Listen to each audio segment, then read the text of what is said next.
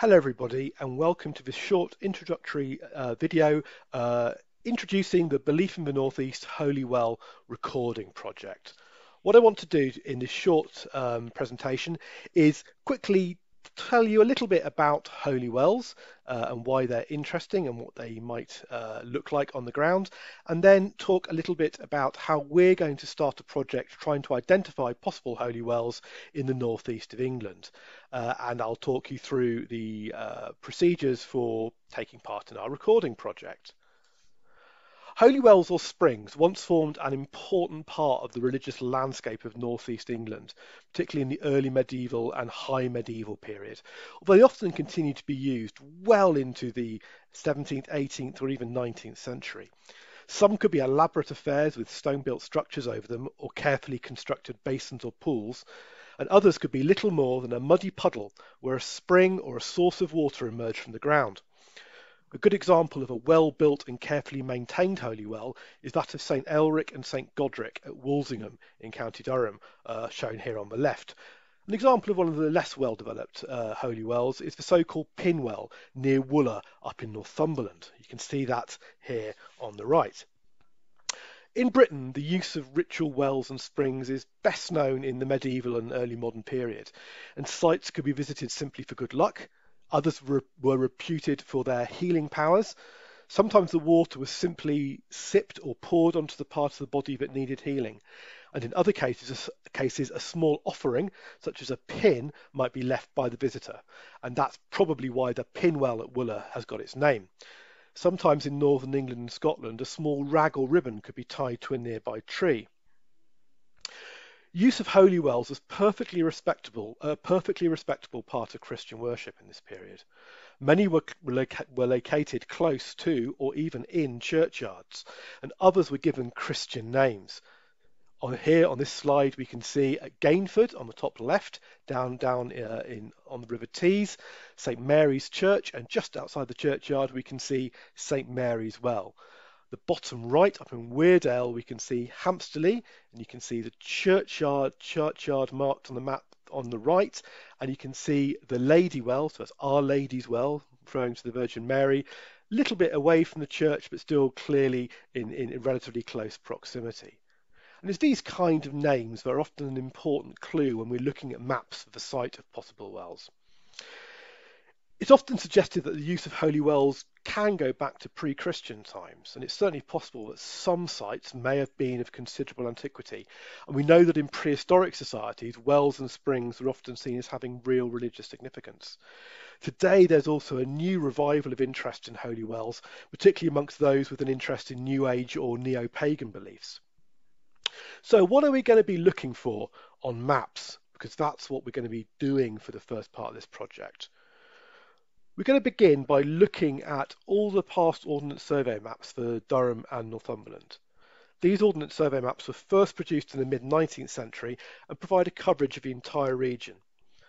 The maps are often very detailed and have lots of information, including noting the location of a range of springs, wells and fountains.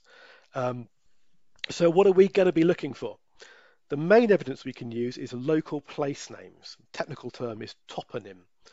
Now, the most obvious, obvious place name to be looking for is not surprisingly Holy Well or, or Holywell as a single word. And there are often variants this spelling, Hollywell, Halliwell, for example. Sometimes the name is related to an actual marked well, but sometimes it's given to a nearby building. There might be a Hollywell House or a Holywell Burn, for example, uh, as a natural feature. And all these are things we need to record on our survey. Another clue, as we've already seen, is that a well or spring might have a religious name, such as a saint's name, St. Oswald's Well, St. Cuthbert's Well, St. Mary's Well, or another religious term, Our Lady's Well, Lady Well. Sometimes the terms, there are terms that are a bit more unusual. We've already seen a picture of a pin well near Wooler, but we might see names like Rattling Well or Roaring Well, perhaps referring to the name the water made as it, the noise the water made as it gushed out. The well might even be associated with a legendary figure. On this slide, we can see on the left up at Greenhead uh, in the south of Northumberland near Hadrian's Wall, we can see a King Arthur's well uh, is, is noted. And on the right at the village of Colwell in Northumberland, we actually have three different wells. We've got Coley's Well uh, at the top, which is probably where the village got its name from, but also a Pricky's Well. I wonder if that's maybe relating to pins. And finally, at the bottom, we've got Robin Hood's Well. Basically, if a well or a spring has an interesting, unusual, or an intriguing name, it needs to be recorded. So that's what we're going to do. So, how's the project going to work? We're going to have four broad stages. This stage we're launching now is the initial survey of the first edition of Ordnance Survey maps, and we're going to do this digitally and remotely. So this is something you can do from home. Then, we, once we've identified a series of interesting looking sites, we're then going to follow them up by seeing whether they're shown on other older maps or plans, uh, and hopefully this will involve visiting local record offices. Then we're going to follow up on that by making some field visits, seeing what some of these wells look like actually today, see if they survive. And then hopefully after all that, we'll do a little bit of uh, formal recording or possibly even excavation of a small group, a small subset of the sites which we have identified. So how are we going to be running the digital survey? Well, the first thing you need to do is if you want to get involved, you need to contact me and my email's there. And I will send you a researcher ID number, so that'll be your number for the course of the project. And I'll also send you links to a series of maps. I'll give you three maps initially, small maps of an area about two kilometers by two kilometers, roughly speaking.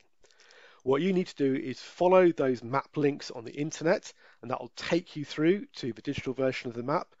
You look at that map online. Uh, if you see something which you think might be a holy well, then it needs recording. So then the next stage is you press Alt and then you right click on the point where the well is, and that will bring up a new map screen. Then using that, there'll be the option to copy the grid reference to a clipboard, to your clipboard on your computer, and then I will send you a link. You'll, you'll also have the link for a online recording form, and you can put that data into the recording form. That's only in general terms, so don't worry if you haven't got all the details, because there's going to be a second video which shows you how to actually do this in practice. So your job now, if you want to stay involved in the project, is to watch the second video, see how to do the recording in practice, and then contact me for your first allocation of maps.